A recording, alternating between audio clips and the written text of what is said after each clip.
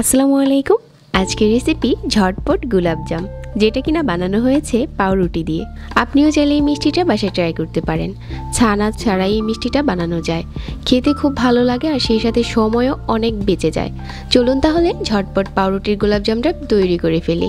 গোলাপজাম তৈরির জন্য ছয় পিস নিয়েছি পাউরুটির স্লাইস তারপর সাইডের যে ব্রাউন অংশটা আছে, ওইটা একটা বেকারি নাইফ দিয়ে কেটে নিচ্ছি।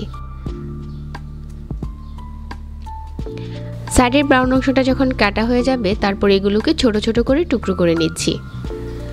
আপনি চাইলে না কেটে হাত দিয়েও ছিঁড়ে নিতে পারবেন। তো আমার এখানে সবগুলো ছোট টুকরো করা হয়ে গেছে, তারপর একটা বাটিতে নিয়ে নিচ্ছি আর হাতে আরও কিছু ভেঙে গুঁড়ো করে নিচ্ছি। যখন গুঁড়ো করা হয়ে যাবে, এখানে এক টেবিল চামচ দিয়ে দিচ্ছি পাউডার মিল্ক এটা অপশনাল কেউ চাইলে দিতে পারেন, আবার চাইলে নাও দিতে পারেন। তারপর এই গুঁড়ো দুধটা মিশিয়ে নিচ্ছি। আর অল্প অল্প করে পানি দিয়ে একটা সফট ডো করে নিচ্ছি। এখানে কিন্তু কোনো রকম বেকিং পাউডার, বেকিং সোডা কিছুই দিতে হবে না। অল্প অল্প করে পানি দিয়ে এই মিশ্রণটাকে মাখিয়ে নিতে হবে। তো মেশাতে মেশাতে যখন একটা সফট ডো হয়ে গেছে, তারপর এখানে এক চামচ দিয়ে দিচ্ছি ঘি। ঘিটাকে দিয়ে আবারও মিশিয়ে নিচ্ছি। আর হাতে একটু ঘি লাগিয়ে মিষ্টির এই বলগুলো বানিয়ে নিতে হবে।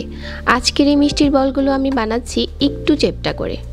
আর সাইজে কিছুটা বড় করে বানাচ্ছি। আপনি চাইলে কিন্তু এই মিশ্রণ দিয়ে সাত থেকে আটটা মিষ্টিও তৈরি করতে পারেন। আমি ছয়টার মতো তৈরি করেছি।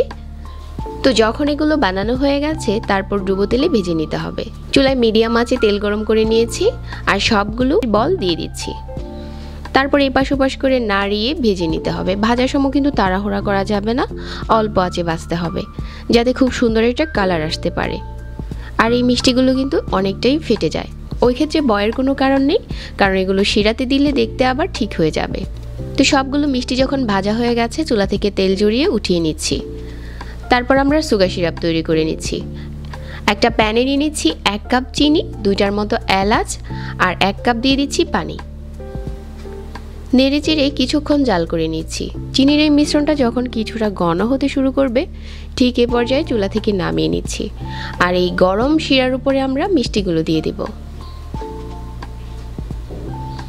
তো শিরাটা এখন গরম আছে আর আমি মিষ্টিগুলো দিয়ে দিচ্ছি। আর এই পাশপাশ করে নাড়িয়ে দিচ্ছি আর ঢাকনা দিয়ে ঢেকে দিচ্ছি এক থেকে দেড় ঘণ্টার জন্য। আর এই এক দেড় ঘণ্টা পরেই আমাদের মিষ্টিটা পরিবেশন করার জন্য একদমই রেডি এখন একটা প্লেটে নিয়ে সাজিয়ে নিচ্ছি। সাজিয়ে নেওয়ার পর এই মিষ্টিগুলোর উপরে দিয়ে দিচ্ছি কিছু মাওয়া।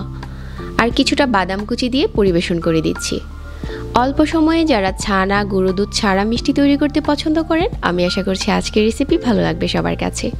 আমার এরকম আরও নতুন রেসিপি পেতে চ্যানেল সাবস্ক্রাইব করে রাখবেন আর পেজে লাইক দিয়ে রাখবেন। সবাইকে অনেক ধন্যবাদ জানাচ্ছি আর আজকে এখানেই বিদায় নিচ্ছি। আল্লাহ হাফিজ।